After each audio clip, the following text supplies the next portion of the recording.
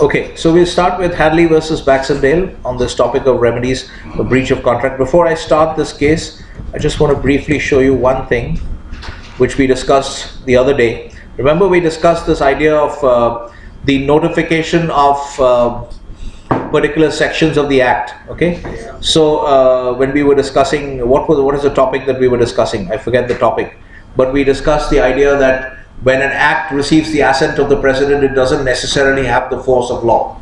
Okay, because it has to be further. And the way that many of the acts are now being written uh, in, in, in, the modern times, uh, they you see the section one, subsection two. This is from the Companies Amendment Bill 2016. Okay, when we were discussing the Companies Act of 2013 and uh, the MCA ebook that uh, you know quickly updates all the amendments and gives you the dates of notification. Okay, so this is a slightly off-topic discussion, not related to Hadley versus Baxendale, just something to be aware of. You see here the Companies Amendment Bill 2016. This was introduced eventually. The Amendment Act was in 2018. Okay, but you can see from here the structure. What are they proposing? This, all this stuff. Okay, this has received this. When this becomes an act, it'll become, it'll have received the assent of the president, etc. You look at this. It says it shall come into force on such date as the central government may by notification the official gazette appoint okay so the government will appoint a particular date in the official gazette and different dates may be appointed for different provisions of this act okay? So the point is that just because something is in the act and it's received the assent of the president it has not come into force it does not have the force of law because most of these acts today are being written in this kind of form so therefore the particular section, in order to know whether a particular section in the act is uh, actually has the force of law as of now, you have to go and see whether that particular section has been notified by the government, by the executive branch, okay? So the laws are made by the legislative branch, affirmed by the head of the executive branch, the president, and then the executive branch, that is essentially the, the, the ruling party in power at that time, will decide when to notify particular sections. And until they do that, they do not have the force of law. Those sections do not have the force of law. So this is some uh, just to give you a real life example of what I was talking about there. Uh, okay, let's go quickly back to Hadley versus Baxendale. Okay, we've lost two and a half minutes on this side point, but I wanted this to be part of the recording. Okay, all right, so Hadley versus Baxendale, this is a, a, landmark case on this topic of remedies for breach of contract. Breach of contract. This is as important to this topic as the Salomon case is to the topic of the separate legal personality of the corporation. Okay, so you can see here briefly the facts. You can see the the Millers at Gloucester. So these are the plaintiffs, and then you have the repairing company, which is uh, uh, Joyce and Company. They are based in Greenwich these guys are based in Gloucester, and then you have the carriers who are the defendants, Pickford and Company. And so what happens is there's a, the crankshaft of the mill breaks. They want to get a new uh, crankshaft made, and the uh, these guys, Joyce and Company, they need a they want to work off a prototype. So they require this uh, broken shaft to be sent to Greenwich, and Pickford and Company takes money for the transport of this, and then they say that they'll deliver it within two days but in fact, what happens actually is that they don't deliver it until the seventh day. So they've delayed the delivery of this particular shaft. Now this is the problem here. And the plaintiffs have sued them, that is the millers, okay? They have sued them for delay in delivery and uh, they've sued them for lost profits. So they're saying that because the mill was not, the crankshaft was not available for a long time, uh, we are claiming $300, 300 pounds damages for lost profits and the wages that we had to pay to our laborers, but we couldn't operate the mills, etc. So this is uh, this is the state of this situation. So now, although this case is laying down a very important principle on remedies for breach of contract, the technical point on which the case comes to the higher court is actually quite. I mean, it's, it's quite uh, kind of um, uh, mundane or very limited in scope, which is the question is uh, what what the defendants have said is the defendants lost in the lower court, okay, or they had a judgment against them which they didn't like, and what the defendants are essentially saying is that the jury instructions were not proper, okay. So if you see what happens, that on the first count, uh, the defendants have actually denied the first count, which is this whole business of between two days and seven days, where they said so. The first allegation is that uh, they were supposed to deliver in two days and they didn't deliver for seven days. So that the defendants have actually, uh, you know, disagreed with. But on the second count, what they have said is in the second count, you see, the plaintiffs are alleging that uh, they did not deliver the shaft within a reasonable time. So on this allegation, the defendants have agreed that we did not deliver it within a reasonable time, and for that they've delivered. They've paid 25 pounds into court as uh, damages uh, for the second count. Okay. So now what is happening is, in addition to that, the, the plaintiffs are also claiming the damages for lost profits. Okay? So on account of that so and on that point uh, on the question of damages for lost profits the jury essentially in addition to this 25 pounds paid or already paid into court by the plaintiff by the defendants the jury additionally what the jury does in the in the lower court okay what the jury does is give them a verdict in favor of the plaintiffs for an additional 25 pounds okay so they've already got 25 pounds given by the defendants on account of they admit that we did not submit it or we did not deliver it within a reasonable time. In addition to that, on account of the lost profits and stuff like that, uh, the uh, the jury has found for the uh, plaintiff, okay, and given them a uh, award of 25 pounds. So against this decision, the plaintiffs, uh, the defendants have come up on appeal, and their technical point is that the jury instructions were not proper. Now we don't have jury trials in India anymore, but it's common in the US, UK, etc. So uh, now what you have is that uh, the important thing with jury trials is that the jury is supposed to enter a finding of fact and you know find the and, and set certain damages and stuff like that. But uh, the court, the jury has to be properly instructed by the judge. There is still a judge even in a jury trial. The judge makes sure that the, uh, the trial is conducted according to proper rules, etc. Okay, so now the judge has to give proper instructions to the jury. So the technical point on which this comes up to the higher court is the defendants are saying that the jury was not properly instructed. Okay, and then you find that the higher court actually agrees with this. Okay, and why does the higher court say that the jury was not properly uh, instructed? This is why they say it, and this is where, I mean, the ground on which they come to this conclusion that the jury instructions were not proper is, uh, is where you find them laying down this or sort of reaffirming this important rule as to what kind of damages can be claimed uh, for breach of contract. Okay, so you already remember in the notes that we discussed, we discussed uh, compensatory damages would be of two types. What are the two types? Yeah, general damages and special damages. Okay, so you have to be careful. I thought I heard you say journal. Sometimes when you say general, sometimes people say it as in it sounds like uh, J U J O U R N A L. Okay, so you have to be very careful. General. Okay, so you have to say when you say general damages, you have to say general. It should not sound like journal. Okay, I know you like your accounting class, but journal entries not not journal but general. Okay, okay, all right. So um, the point we studied was that the, the theory says that you can claim general damages and special damages. Okay, so general damages are what you would ordinarily uh, are the damages that would ordinarily uh, occur. Okay, uh, would be non ordinarily expected to occur as a consequence of the breach of contract. Okay, which could be normally foreseen by reasonable people as occurring as a consequence of the breach of contract. That is your general damages. Okay and then you have special damages which are called consequential damages. Okay also called consequential damages which is basically other damages that all kinds of remote and uh, you know indirect damages that may occur because of some special circumstances that prevailed at the time of the formation of the contract as well as the breach of the contract. Is this clear? So what this essentially what the ratio of uh, so your question was what is the ratio decidendi of hadley versus baxendale? So briefly what it is essentially is that uh, this is what the rule uh, that is reaffirmed. This is the rule that is reaffirmed in this particular case. Uh, this this is this is part, the part where you will find the ratio decidendi. Okay. So what this what this court is saying is where these two parties make a contract and then one of them breaks the contract.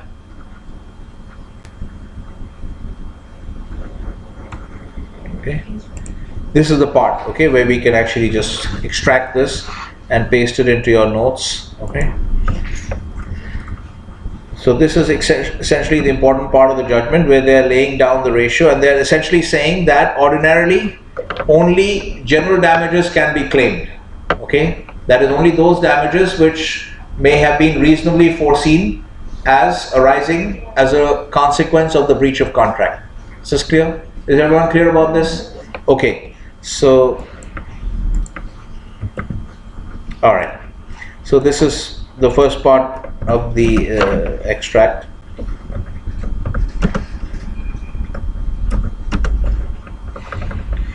And we can actually, uh,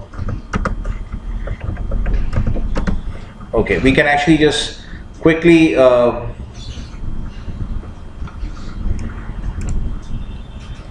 we, we can quickly refer to the second part of the question to understand the full ratio decidendi and answer the first part as well. The second part of the question was, which section of the Indian Contract Act uh, embodies the ratio of Hadley versus Baxendale? I'm sure most of you Googled for this. Did you actually go into the act and look for it? Or you just Googled for it? Okay, you went in and looked for it. Okay, good. Okay, so you can see this is section 73 Okay, so in a way, as I said again, the Indian Contract Act obviously does not actually apply to the Hadley versus Baxendale situation, but because this uh, statute, having been written by the English in 1872, essentially uh, codifies the English common law of contracts. So you'll see many of the important principles as part as sections of the ICA. And so you can see here, what does it say? The first paragraph, can you see this? What is the first paragraph essentially saying? The first paragraph is essentially saying that uh, general damages may be claimed. In case of a breach, general damages may be claimed. Is this clear to everyone? Yes. That the first paragraph is saying this, okay? And what is the second paragraph saying? Of section 73? Yeah, and so what is the what what is the expression that we can use for indirect remote and indirect losses? Unforeseeable, and so we call them special damages. Okay, so essentially, what the first two paragraphs of section 73 essentially embody the ratio of uh, they codify the ratio of Hadley versus Baxendale. Okay, where uh, the first paragraph essentially says that general damages may be claimed and the second paragraph says special damages need may not be claimed. In summary if you wanted to just paraphrase those two okay? Uh, you're convinced? You're, you have a question? Okay okay. All right okay. So uh, so this is what it says okay? First two paragraphs second paragraph essentially saying that general damage special damages may not be claimed. Okay so by special damages this is what we mean. Remote and indirect loss of dam lo this is actually a typo here. It should not be off it should be or. Okay in remote and indirect loss or damage. Is this point clear? What? Some of you are not Kushbu is not convinced. That can you see that that off is a typo? That should be or you can't have loss of damage if you have loss of damage then the damage has disappeared so you can't claim so it is loss or loss or damage. Okay. So this is why I told you that when you are actually looking at litigation and looking at the actual exact words of the statute, if it's the Companies Act, you just go to the e-book of the uh, set out by the MCA, and that's always going to be accurate. Otherwise, you go to the Income Tax Act website, uh, Income Tax website, and look at look at the actual acts on that website. Those are maintained by Taxmann, and those are actually updated. Okay, and they don't have typos. All right. So indirect loss or damage okay? Sustained by reason. So remote and indirect loss or damage sustained by reason of the breach. This is essentially a way of referring to what we are calling special damages in the theory. This is clear? Okay. So if you can see here this word uh, remote has also appeared in the case itself what is the court what is the case saying here if you notice? Um, somewhere here that you can see yes. Can you see this? Can you see this? That the defendants actually have alleged this. So this word remote is actually connected to this judgment itself. Okay in the judgment there is an allegation that there is this particular damage that you're claiming for lost profits. Okay how were we supposed to know that your mill was not going to be working at all okay uh, and uh, that uh, I mean we knew that the mill was we'll see that there is actually a part where what is this guy saying? The defendant's clerk here. Okay, so the defendant's clerk, the defendant's office told the defendant's clerk, okay, the servant of the plaintiff, okay, who went to the defendant's office, told the defendant's clerk that the mill was stopped and the shaft must be stepped. So they knew that the mill was stopped. But there was no uh, articulation of the amount of profits that might have been lost, that the fact that there would be lost profits and wages have to be paid to workmen, all these factors were, all these details were not articulated and made clear to the other party. Okay, so um, the point is that when these guys are saying that this claim for lost profits, that's too remote. This kind of damage is too remote, and we could not have ordinarily contemplated these damages as occurring as a result of the breach. Okay, so the word remote actually comes is connected to the judgment also. Um, this is our contract act. Okay, so here you can see section 73, first two paragraphs set out the ratio of Hadley versus Baxendale that general damages can be claimed but remote and indirect losses amounting to uh, uh, being labeled normally as uh, special damages cannot be claimed arising from special circumstances. Okay, so that is essentially the ratio of this particular case. And you can see here, yeah, okay, this is the thing. And where they've talked about, okay, now here they're saying, this is the part where they're elaborating on the other side, um, this part, okay,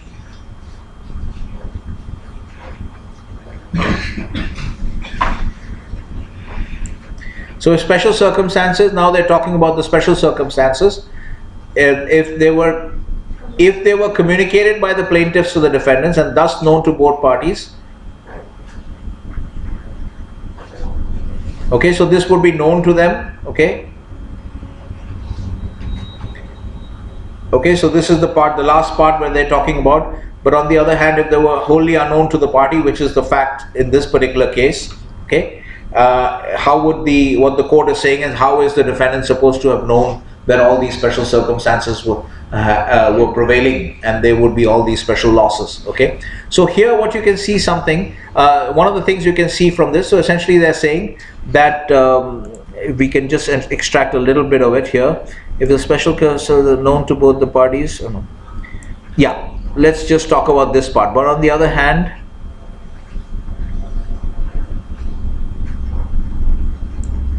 this part okay?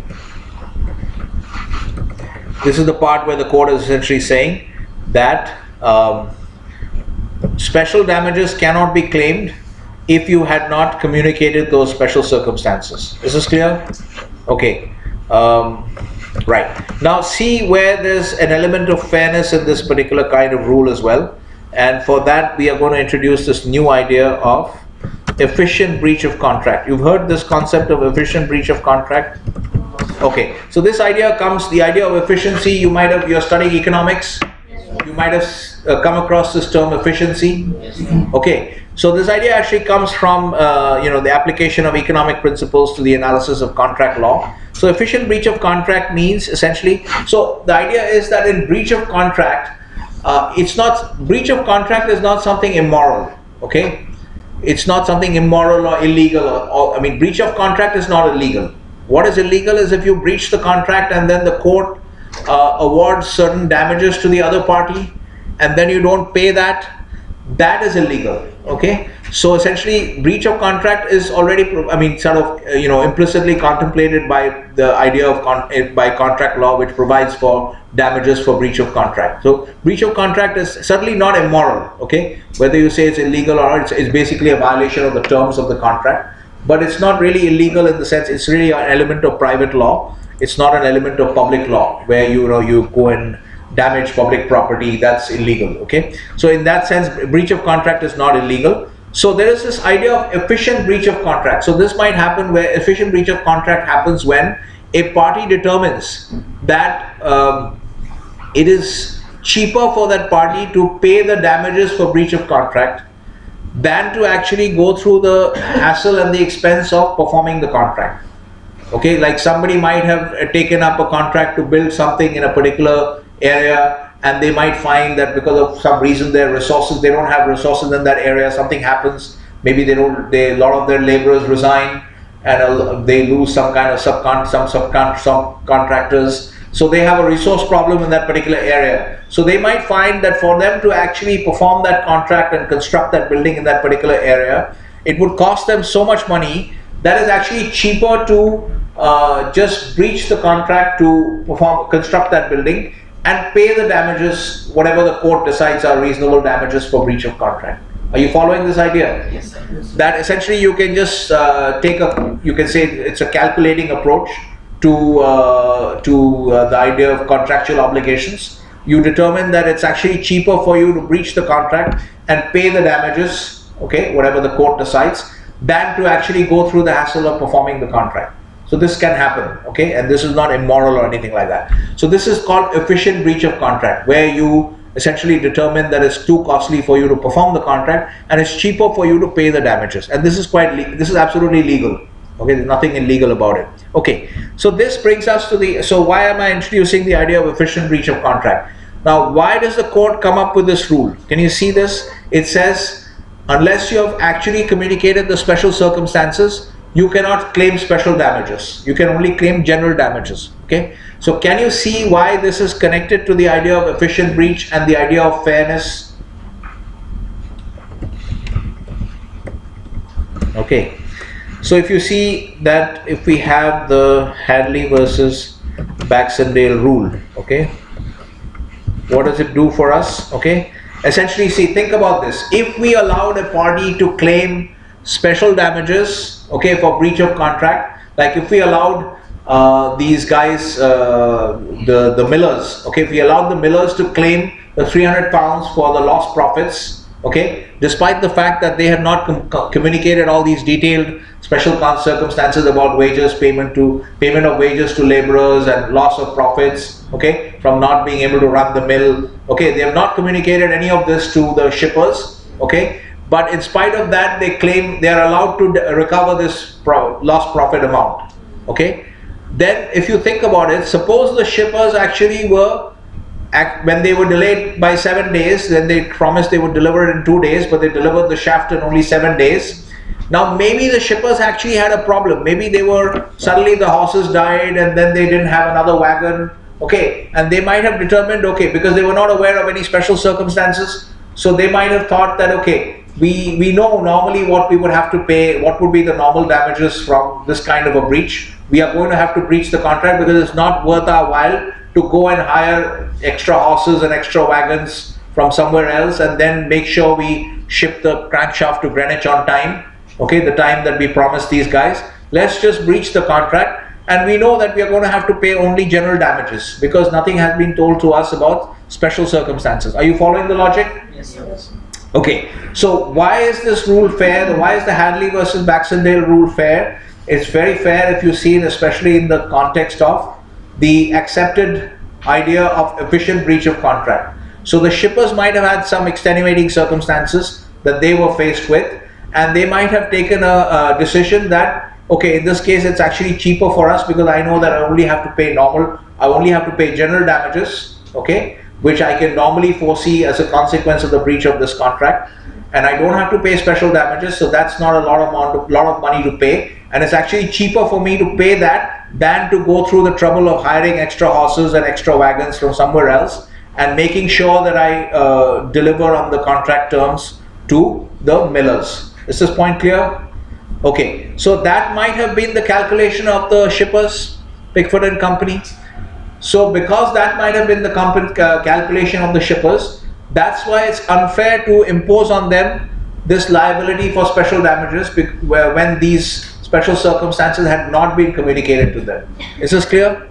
You understand the idea of fairness? Okay, everything has to be, all legal principles have to be uh, fair, have to be seen as fair. Okay, so this is, uh, and it's also this introduces this idea of uh, efficient breach of contract okay? Because uh, it allows for uh, the possibility of efficient breach of contract. And if you combine that with the idea of fairness you can see why this uh, Hadley versus Baxendale rule is a just rule. Okay? All right. So far everyone's clear? Any questions? Okay now we're going to learn uh, so this is essentially it right? If you go back to the questions that you were asked what is the ratio descendanti of Hadley versus Baxendale and what is the section of the uh, ICA that embodies this ratio? The second part is section 73 first two paragraphs. And then the first part is essentially this that you can only claim general damages uh, you cannot claim, claim special damages if you have not communicated the special circumstances okay so this is essentially the brief answer to your to the specific questions that you were asked now we'll get into the other learnings from this case yes Yeah, go ahead. Use the mic. Yeah. So, like uh, you said, you talked about efficient breach of contract. Uh, the party knows that uh, the breach of contract will be efficient. That is what we have assumed in this case. Okay. Uh, No, no, we have not assumed. I've just said that I've just kind of constructed a hypothetical. We don't really know because in the facts of the case, it does not say anything about. Uh, because Hadley versus, I mean, when the uh, shippers come with the plea to the higher court that the jury instructions were not proper. Okay, so essentially, what let's say before we go into the other learnings from this case, okay, finally, what does the court decide? If you see the court's decision on in this case, the ultimate decision is actually quite a mundane decision.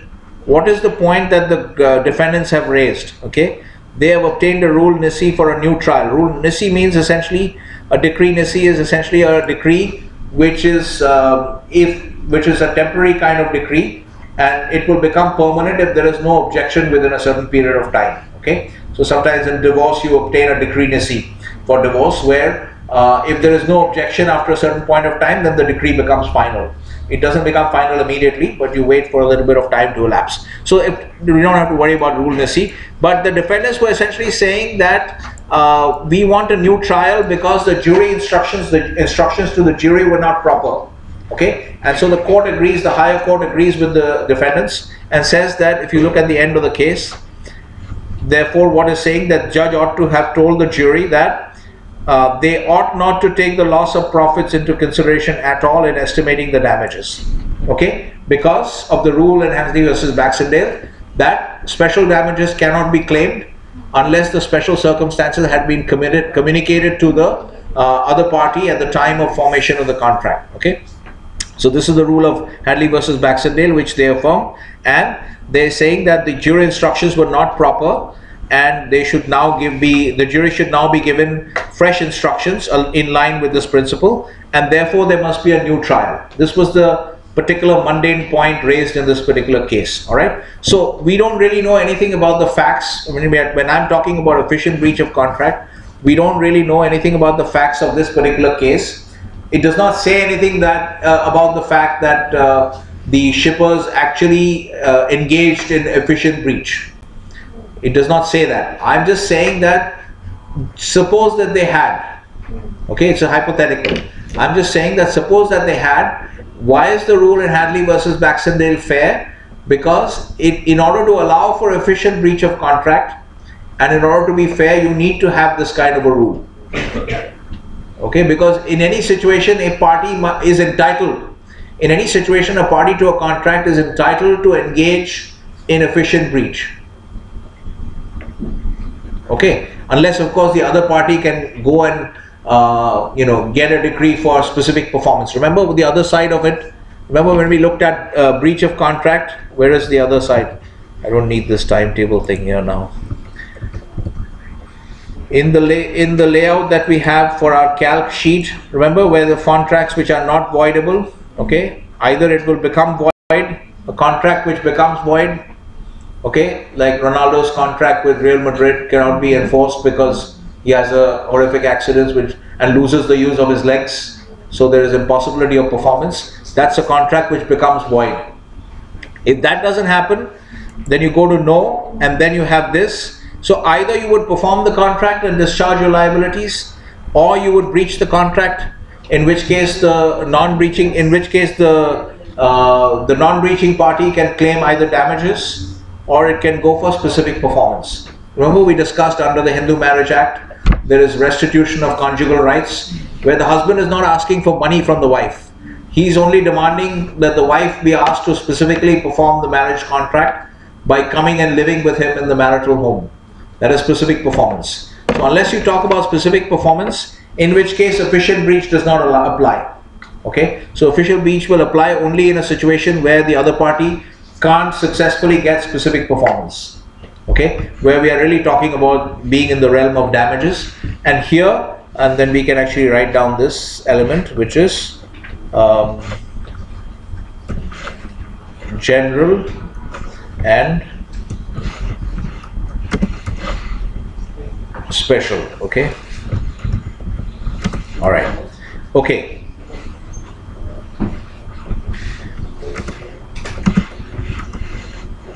Okay, actually it will be or because they will not have a situation where you have both. Because the special damages, if it exists, will cover uh, the entire I mean, amount estimated. Okay, all right. So, uh, are you following here? Now, sorry, a long uh, interruption to your question. But uh, I, what I wanted to clarify is that my point about efficient breach in the case of Hadley versus Baxendale is only in the form of a hypothetical. Uh, to to uh, and I, what I was saying is that every party is entitled to contemplate efficient breach and engage in efficient breach. Okay, does that answer your question? Yeah, you partly answered. What is the fully answer? There's no partly answer. Like some people say when I ask, why is this point clear? Because it's too embarrassing to say that it's not clear because people will think you're stupid because you haven't understood the question or you haven't understood the point. So most, mo the most common answer is, yeah, I've uh, partly understood. Okay, so that's, you know, does, uh, takes care of everything. you're being truthful at the same time, you're not appearing to be a fool. You're only a part fool. Okay, okay, all right, yes. So what I was asking was that uh, you talked about efficient breach of contract. Is that possible that if a party uh, uh, thinks that we only have to pay a part of damages because there was no special damages, uh, uh, there was no uh, special damages declared by the other party. So Special circumstances were not communicated by the other party at the time of formation of the contract. Yeah. So we are only liable to pay general damages. Yeah. So Yes. is that possible that uh, the court uh, may declare in future that uh, efficient damages are not applicable? The other party has to pay more, more uh, to the. No, there's no such efficient damages, efficient breach of contract, you're saying. I'm confused. I, I, Okay, so what is the confusion exactly? I, I, I talked to you. I think what you're saying is that the court may, uh, what the court may see, if you're talking about efficient breach, okay, in this kind of a situation, okay, it could also happen where uh, special damages, special circumstances have been con- have been uh, communicated. Maybe if we discuss the liquidated damages part, then you, your question might become clearer. Okay, let's discuss that. Okay, so it's going to be a very long discussion of this point, but there are some important points that we have to understand. So Hadley versus Baxendale, although it's a very important case on remedies for breach of contract, the technical point in the case is very mundane. Whether there should be a new trial or not, whether the jury instructions were not proper or not. Okay, and the court says, and the court says that yes, jury instructions were not proper, so there should be a new trial. So the actual decision is very mundane. Okay. Now, if you take the rule in Hadley versus Baxendale, now go back to the judgment. Okay. So we have already extracted on all this stuff, right? If the special circumstances were uh, not known, what is the part that we extracted? Um, here. If the special circumstances were wholly unknown, okay, to the party breaking the contract. This is where they're talking about. You can't claim special damages if this this is the case, okay? The- They were not communicated, you can't claim special damages. Okay, now let's look at the next part of it. Uh, so far it's clear to everybody? Any other questions? Okay, now let's look at the second part. Let's look at this last part here which the court is talking about, okay? Look at these three lines from this paragraph okay? I think i've already copied this into this. Yeah this is the part that i'm talking about. What is the court referring to here okay? Um, let's put this here.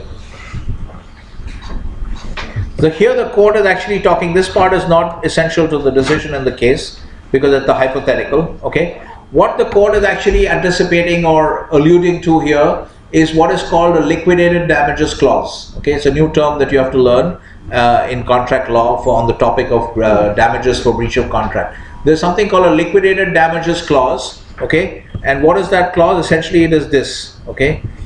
If you see this okay if you see essentially this applies to special circumstances. Because remember when you're talking about general damages there is no requirement to really mention anything in the contract. Because general damages apply to uh, situations where i mean the court is going to estimate normally uh, the losses that may normally arise from such a breach of contract okay in the normal in the usual course of events okay so there is no need to as, as specifically refer to a particular sum in the contract okay because uh, in every situation where there's a breach the court will just estimate what would have normally, uh, what is the damages that would have normally accrued from such a breach of contract. Okay, and the normal course of events, okay, the language that they're using here. What does it say here? Fairly and reasonably arising naturally according to the usual course of things from such breach of contract itself. Okay, this is where we are talking about general damages. Okay, so general damages, since they can be understood reasonably, there is an idea that they can be fairly estimated uh, by all parties. Okay, and the court itself can also reasonably determine what this num- number should be. So there is no need to mention anything uh, as far as claiming uh, uh, general damages goes. Okay, but if there are special circumstances that are communicated to the other party at the beginning of the at the formation of the contract, at the time of formation of the contract, now what happens is in this kind of a situation, there are special circumstances and both parties agree ahead of time at the time of the formation of the contract that okay these are the special circumstances that are prevailing. And we both agree that if you like let's say if you take a construction contract okay where typically these liquidated damages clauses will be on a per day basis okay? So you would say that you got to construct this building by say uh, within the next nine months. And for every day of delay in execution of the contract you will have to pay me $5000 so they agree the parties agree ahead of time both the builder and the person who's uh, giving out the contract okay both of them agree ahead of time that because of the circumstances i think it's fair we think it's fair that if there is a delay in the in the execution of the contract for every day of delay the uh, defaulting party should uh, will pay five thousand dollars per day to the uh, person who's put out the contract. So it's clear. Okay, so this kind of a thing is this is what is called a liquidated damages clause. What is happening here is the parties are estimating. They are aware of special circumstances. They're estimating ahead of time. They're trying to estimate. It's a situation where you have special circumstances. Okay, but it's difficult to kind of estimate accurately what the actual future damages would be. It's a situation where you have, uh, you know, you can't estimate ahead of time what the actual losses will be if there is a breach of contract. It's a little difficult to estimate. So these parties come up with a rough estimate ahead of time at the time of formation of the contract to avoid disputes in the future also because it's hard to establish how much has been actually lost and things like that. Okay, is this clear? So you have a situation where there are special circumstances, plus it's a little difficult to estimate accurately what will be the actual damages. So you don't want to get into this fight after the breach of contract. You don't want to get into a fight where this party is saying I've lost so much money, and the other party is saying no, you haven't lost this much money, you only lost much less than that. So this kind of to avoid all these hassles, what the parties will do is they'll agree to a figure ahead of time that if there is a breach of contract, the defaulting party will pay $5,000 per day as an example, okay? Uh, so in a construction contract, let's say, okay? So are you following what we are discussing here? Yes. This kind of a clause, okay, is called a liquidated damages clause. Okay. so this is what we mean by liquidated damages. Okay, just read this and try to understand.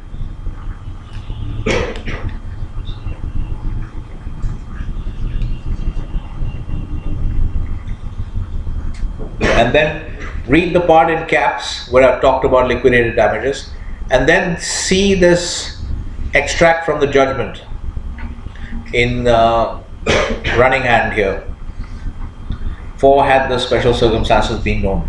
So see that in this part of the judgment, the court is actually alluding to the liquidated damages clause, which is not there in this case. There, it's a hypothetical because the court is saying for had the special had it been known.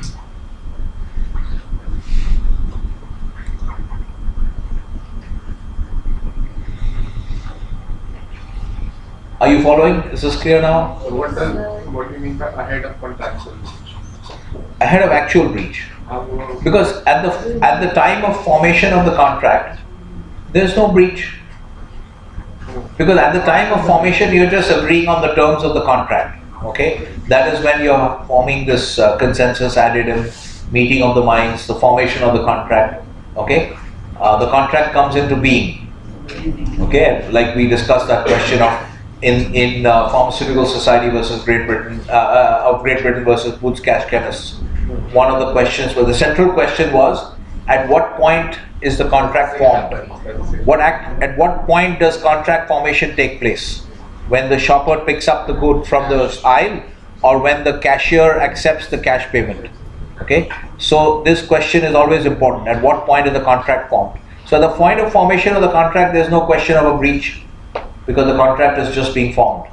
Okay, yes. Any other? Yeah, go ahead. So, uh, you said. Mike, Mike, what happened?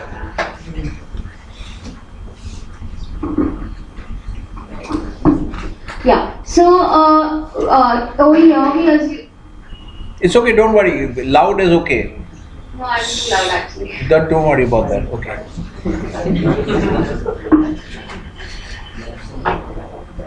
So, Yes. like uh, we said that uh, if the party will uh, breach and if if the party will delay the contract, he has to pay uh, five thousand dollars per day. So, if the party breaches breaches the contract before the actual date, so is he liable to pay five thousand? What actual date?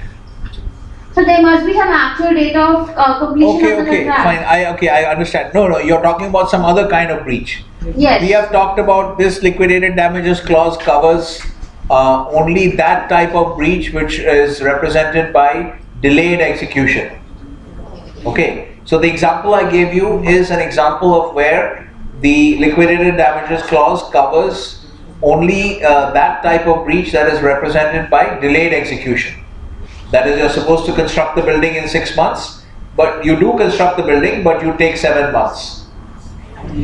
And so if that if you're talking about that kind of a situation where there's some other breach of contract, where the party just does not construct the building, takes an advance payment, does not construct the building, okay, or stops constructing after two uh, couple of months, okay. So in that case, the actual completion date of the contract has not arrived, but the party is in breach. Now that's a different kind of breach, okay. That's also a breach. So there might have been a liquidated damages clause covering that type of breach also.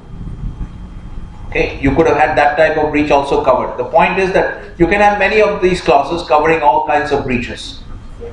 The point here essentially is that the point about the liquidated damages clause is that uh, it uh, shows that the parties had already con- contemplated these, both parties were were aware of these special circumstances and they had already applied their mind to it and they had agreed on a particular sum that would be paid if such breaches were to occur by the breaching party. I mean, it would be paid by the breaching party. That's the idea. So you can add different types of breach. I only discussed one type of breach, that is delayed execution. You can have other types of breach also. Okay. All right. Now, can you guys also see that in this part of the judgment, for had the special circumstances been known, this is where the court is anticipating or alluding to liquidated damages clauses. Can you see this? Is it apparent or not? Parties might have specially provided for the breach of contract by special terms as to damages in that. What is that? This would have been a liquidated damages clause. Okay, so you understand that this is another thing that we can, just like in the Carlill versus Carbolic smoke ball case, the court discussed the idea of contra proferentem. Remember, you've forgotten now what contra proferentem is. That was not discussed. So we have not discussed. How is it possible? I discussed No, sir. Contra perfectum was not discussed. not contra profectum, contra proferentem. I did not hear the person that's why. One minute. We are pretty. Contra proferentem was discussed in the Carlill versus Carbolic smoke ball case. Go back and listen to the recording. It might even be in your notes. I think I put it in your notes as well. Contra proferentem means interpretation. I, I'm 100% sure I put it in your notes. It means interpretation against the draftsman. I warned you for those of you who are going to intern in HR departments in your summer that you would be involved in drafting employment contracts. You might be involved in drafting employment contracts, in which case it is your duty to uh, second guess the HR department or the legal department and ensure that there are no ambiguous clauses in the employment contracts. Because if there are ambiguous clauses in the employment contracts, then the, if there is a dispute between the employer and the employee, how would the court construe the ambiguous clause? Against the employer or the employee? Employer. Why? Because he. Because he has drafted the contract. That is what is the meaning, that is what contra proferentem means. Contra, that is opposite to the person who's offering. That is the person who's giving, uh, who's drafting the contract and offering the contract to the other party. So contra proferentem was discussed and it was also mentioned that in the Carlill versus Carbolic Smoke Ball Company case, the court had the discussion about, contemplated the question of applying this doctrine without actually using the Latin expression contra proferentem. That's not mentioned in the judgment. But the court is actually talking about whether we should whether we should construe the terms of this advertisement most strongly against the person making the offer. Remember that? In the Carlill case, you've forgotten all this stuff. The smoke ball com- company advertisement, right? So this point was discussed. The point I'm trying to make here is that it is similar to the Carlill case because in that case where there is a particular principle that is being discussed by the court, but they don't use the Latin expression for that ex- for that principle. They don't use the words contra proferentem, but they discuss the idea of contra proferentem in that case. And similarly, here also the court is not using the liquidated damages expression, but it is actually talking about liquidated damages. When it says that if the special circumstances had been known, then the parties might have actually agreed uh, between themselves and specially provided for the for such a for such damages in case of breach by special terms as to damages in that case. Are you following? What? Most of the responses are people are already half dead, not even lunchtime. yes? Are you following or no? Okay, very muted responses. like your breakfast was not sufficient. Yes. Okay, all right. Okay, so is this point clear? This is another learning from this case that we can use this uh, very minor uh, allusion to the idea of liquidated damages clauses which the court makes in its judgment because it doesn't need to do that for this particular decision. It's not part of the ratio decidendi. But you can use this uh, little uh, reference to learn about this new term called liquidated damages. Okay? All right. The liquidated damages clause. Okay. All right. Now let's look at one more thing. Where another question which I could have asked you, which I did not. Okay, which is uh, where exactly, um, in which, in which section of the Indian Contract Act, uh, uh, you know, does it provide for liquidated damages? Okay, to save you the time, I'll yeah, it is 74. Okay, now just read this for yourself and try to uh, you know assure yourself that, that my statement is correct. That section 74 of the Indian Contract Act talks about liquidated damages clauses. Can you see, read the first paragraph? Just read the first uh, two lines.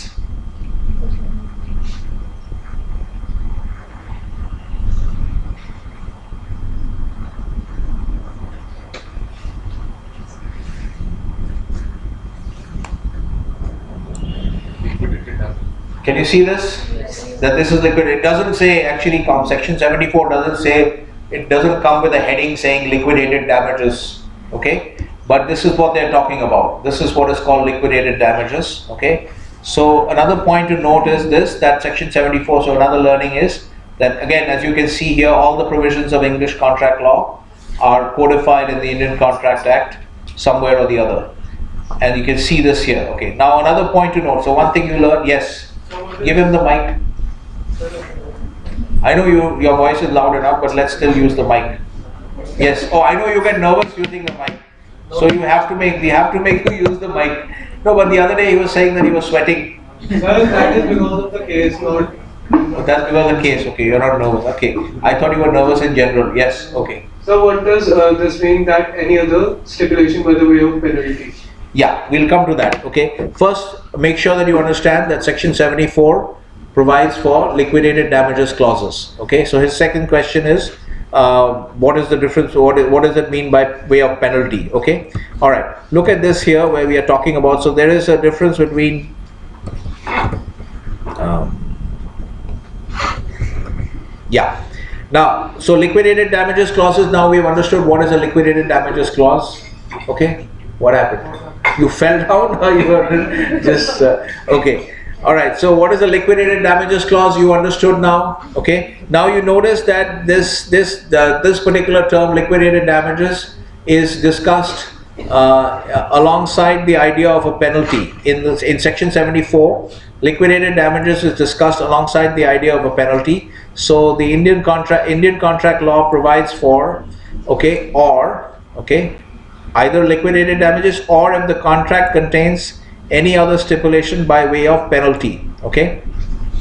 Then what happens? The party who is non-breaching who's complaining of the breach okay can claim okay some reasonable compensation not exceeding the amount so named or not exceeding the penalty okay? Not exceeding the amount so named or not exceeding the penalty. Now let's just on the point of liquidated damages versus penalty typically what happens in in, in uh, international uh, uh, regimes okay the uk us okay they will not allow uh, the enforcement of penalty. So there's a difference between liquidated damages and penalty. The idea of a penalty is that it is generally seen as being very unreasonable. The amount is unreasonable okay? Whereas liquidated damages clauses are normally expected to be reasonable. That is if you have a construction contract where there's a $5000 per day penalty for uh, uh, provision for liquidated damages for delayed execution then it is understood i mean it is expected that that amount of liquidated damages mentioned in the contract will be such amount which most people will see as reasonable in the light of those special circumstances okay but sometimes what happens is that there are penalty clauses which are so big that now Diksha and uh, Mehak will lose points because they are uh, playing with each other. Whatever, I don't know what they're doing. Diksha made a funny drawing and uh, she's expecting Mehak to appreciate it. Okay, where is this team? This Gunjan is, uh, okay, where is Diksha? Where is, yeah, okay, this one, okay. All right, so you will, oh, you've opened your account now. Wonderful. Okay. Good. Okay. So liquidated damages versus penalty, understand something. Liquidated damages, well, brief understanding is we can just make it simple. We can do, make it simplistic. And this is this is seen as reasonable. Okay, obviously spelling of reasonable is not correct. Yeah, yeah, I'm just going to use Google and save myself time. Okay.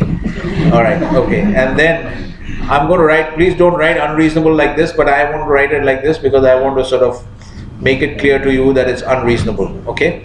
So this is not the way to write unreasonable, obviously. Okay. So liquidated damages. How do you distinguish between the two? Typically, that, that uh, it's not a hard and fast scientific distinction, but the general idea is that liquidated damages provisions will be such that the amounts would be seen as reasonable in the light of the special circumstances but in a business setting you can estimate that okay this is a reasonable amount to claim as liquidated damages okay but if you see certain amounts being mentioned in the contract as payable okay if in case of breach and the amounts are seen to be very unreasonable okay? Punitive excessive amounts of damages being written into the contract okay? And the court looks at it and thinks that this is not reasonable. This is not a reasonable commercial estimate of what might be the damages in these special circumstances.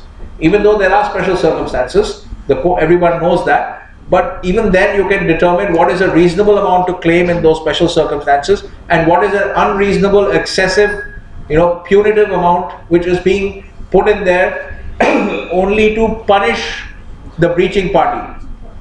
Okay, so if the court sees this is the tradition in the uh, English uh, in the other countries, in the other Anglo-Saxon countries, that if the court determines that there is this clause is the amount is so big that it amounts to a penalty clause, it's not a liquidated damages clause because it's very unreasonable. It does not seem to be a commercially reasonable amount, notwithstanding the special circumstances. Okay. So in that case, the court will not enforce them. Okay. Generally, in the other Anglo-Saxon countries, the court will not in, uh, in, uh, enforce the um, uh, uh, penalty clauses, it will enforce only liquidated damages clauses. Okay. Now the idea here is this. This is how you would distinguish. Now why do they not enforce penalty clauses? Because the idea is that you cannot use because contract law is commercial law. Okay, contract law is commercial law, so you cannot use commercial law to punish people. Okay, so the other thing we say is that commercial contract law is what is called private law. Okay, in the sense it generally governs the contract conduct of private parties. So you cannot use the commercial law to punish people. The punishment of people is the job of criminal law. So it should be left to the criminal law to punish people. So you can't use the commercial law to punish people. That's why the court will not enforce clauses which are seen as you know containing excessive amounts which are in the nature nature of punitive damages, penalty damages, uh, rather than uh, reasonable liquidated damages for those special circumstances. Is this clear? Another thing to understand. Okay. Now, on the face of it, it appears, okay, so this is the tradition in the other Anglo-Saxon countries Uh, other than India, okay. Now, look at it, we can refer to India as an Anglo-Saxon country because we have our legal, we, the legal system is from England. Effectively, our de facto national language is English because that's the only language you can use everywhere in the country. So we can effectively treat ourselves as a semi-Anglo-Saxon country, okay. All right, now look at this. What does it say here?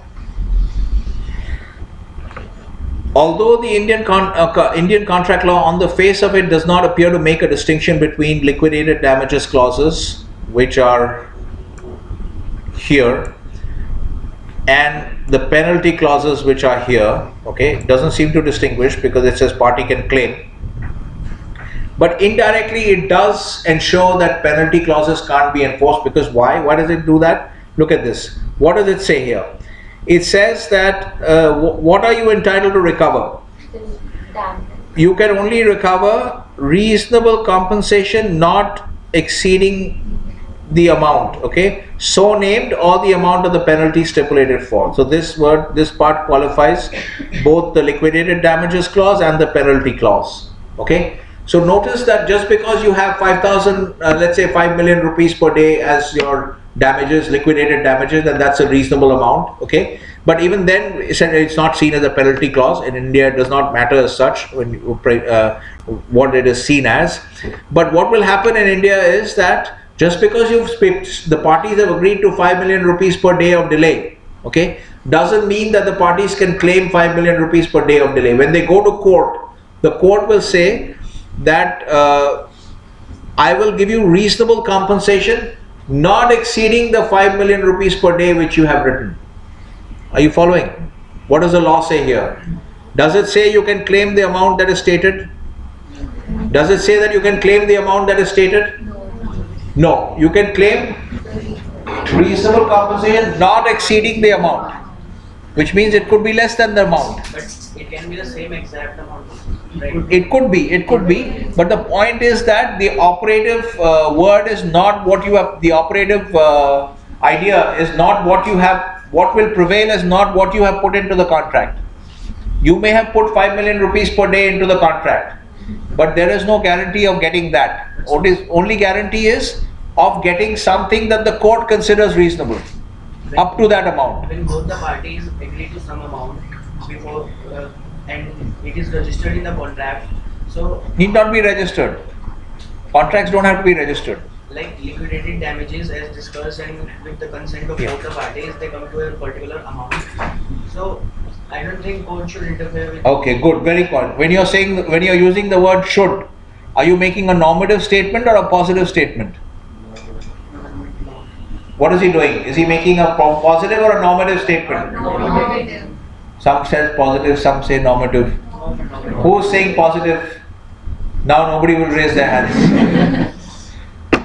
okay, so he's making a normative statement. Okay, so very good point. Okay, we can use his point, but let's understand first before we depart onto this uh, other detour. Let's use this point raised by. Uh, so before we get onto the point raised by Rajan, let's understand this clearly that under the Indian law, although on the face of it, it appears that we don't make a distinction between penalty clauses and uh, uh, liquidated damages clauses, which other Anglo-Saxon countries do. Okay, but indirectly, the Indian law also prevents unreasonable punitive amounts uh, from being claimed because what does the law say?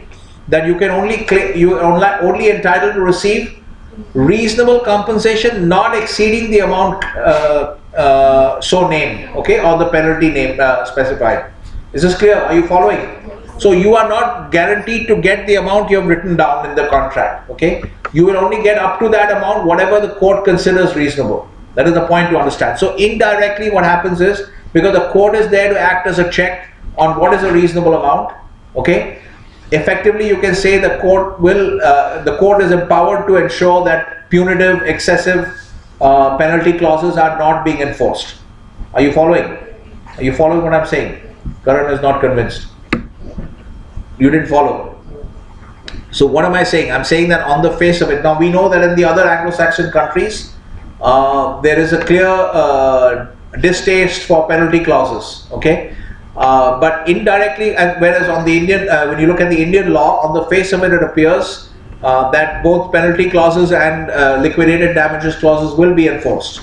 Okay, so it seems like we don't distinguish between the two, but in fact, actually, the two are being equalized by this particular expression here: reasonable compensation not exceeding either the amount named or the penalty stipulated for which means even if you put in a penalty clause which is excessive, punitive, okay, exorbitant kind of a number which is meant to punish the other party, okay, and is not commercially reasonable, there is no guarantee of your getting that amount.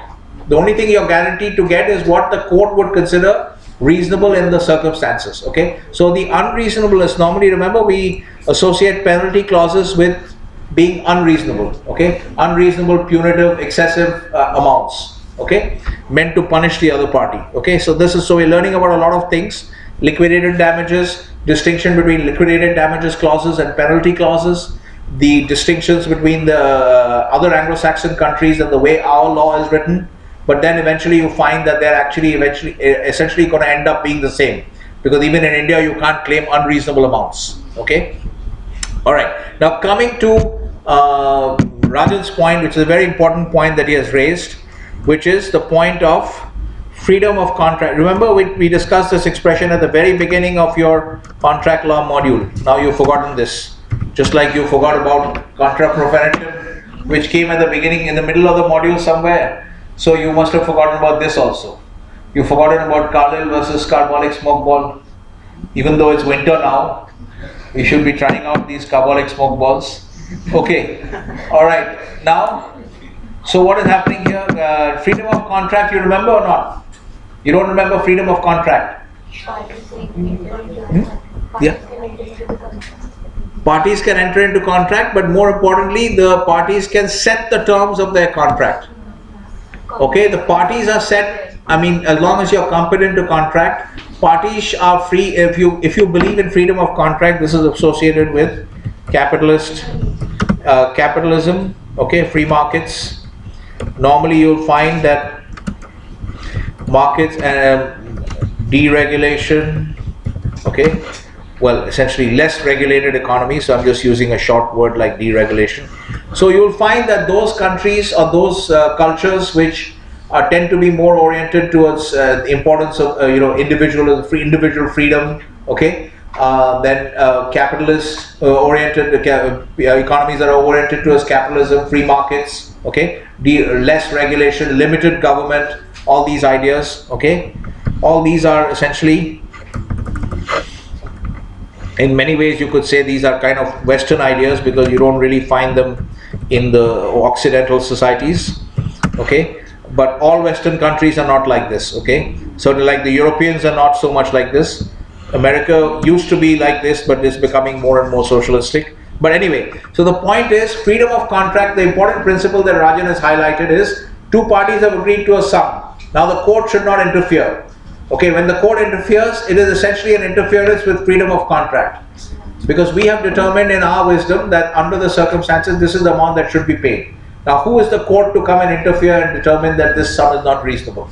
okay this amounts to interfere with interference with freedom of contract okay so you will find essentially that where there is interference with freedom of contract it will it will essentially end up um, interference with freedom of contract will basically stifle innovation can you see how it's going to stifle innovation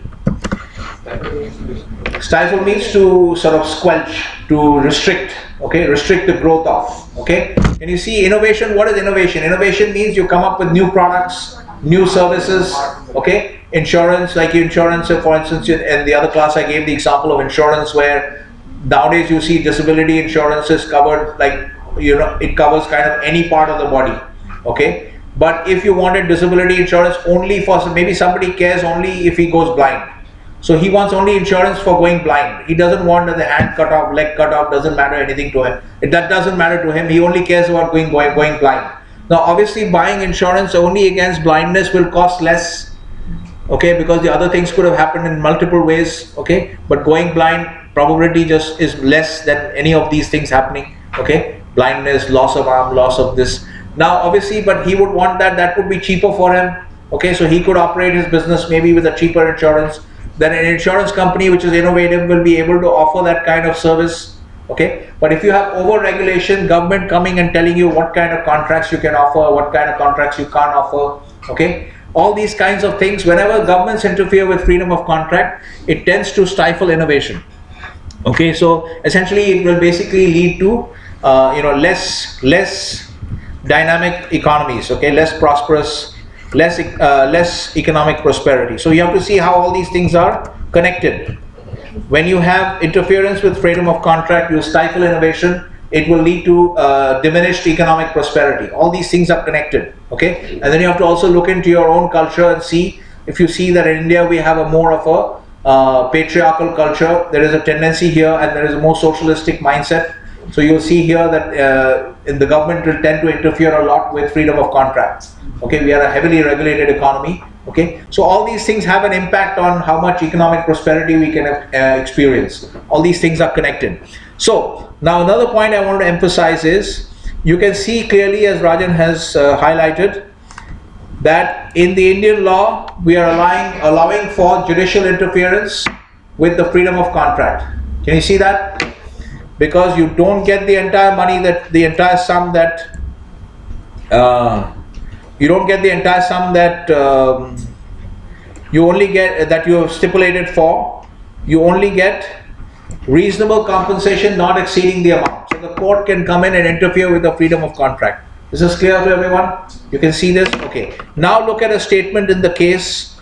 Uh, go back to the statement from Hadley versus Baxendale what is the court saying here? If you don't believe me, you can see that it's actually there in the judgment. Okay.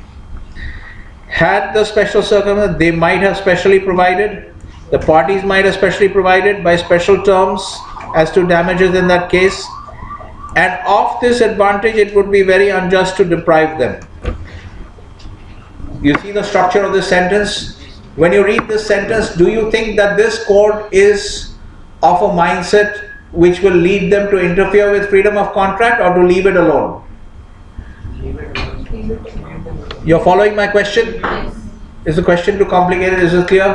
When you read this statement, can you see this? Yash is not convinced. My question is clear? Okay?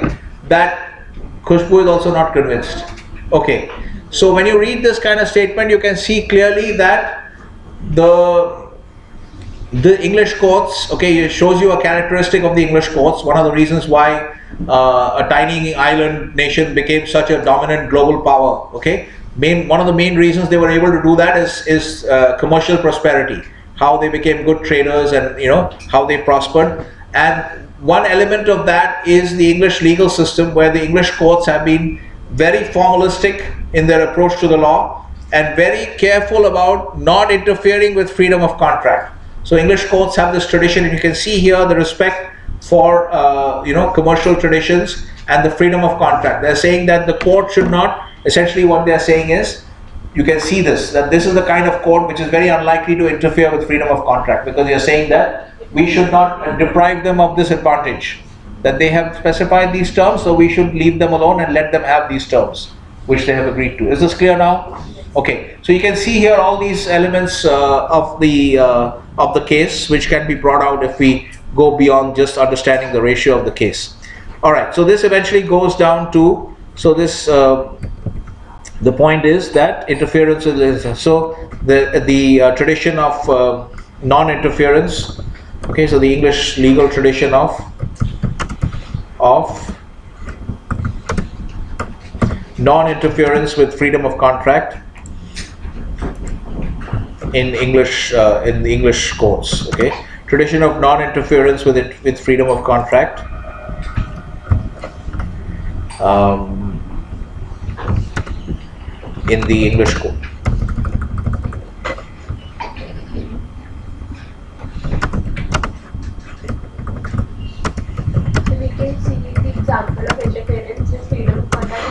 Versus Madala case as well.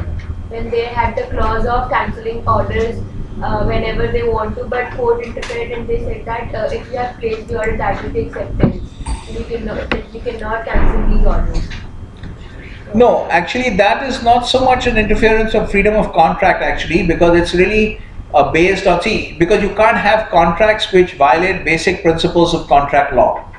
The point was, in that particular case, one of the points being made was that uh, if you have a clause, if that clause were to apply to contracts for which, okay, if that clause were to apply to uh, contracts or amounts, were to apply to amounts for which specific orders had already been placed, then that would amount to undermining uh, the contract which has been already uh, entered into because that would those clauses would be void if they purported to employ apply to uh, to amounts for which orders have already been placed because the fundamental principles of contract law cannot be escaped so once you place an order for a specific quantity that results in the formation of a particular contract so then you cannot put a clause which tends to go in, which would want to go into that contract and render the contract void because your obligation would be then nullified by that clause. So that you cannot do. So that's not correct to say that that represents interference with freedom of contract.